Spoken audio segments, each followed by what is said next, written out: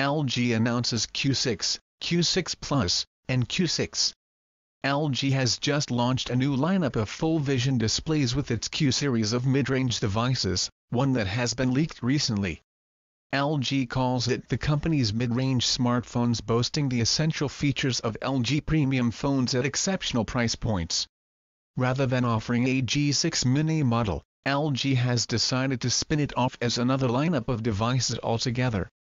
The LG Q6 is the median option while the Q6 Plus and the Q6 is a step above or below the Q6, respectively. The different models only differ in RAM and storage capacities. All Q6 variants will get a 5.5-inch full-vision display with FHD Plus resolution 2160x1080px with the same design language as the LG G6. A Snapdragon 435 CPU ticks inside while a 3000 mAh battery powers the device. LG Q6 2GB RAM slash 16GB storage. LG Q6 3GB RAM slash 32GB storage. LG Q6 Plus 4GB RAM slash 64GB storage.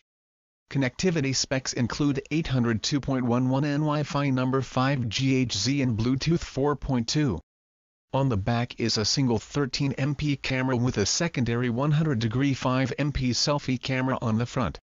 The hardware is still made of 7000 series aluminum, just like the G6.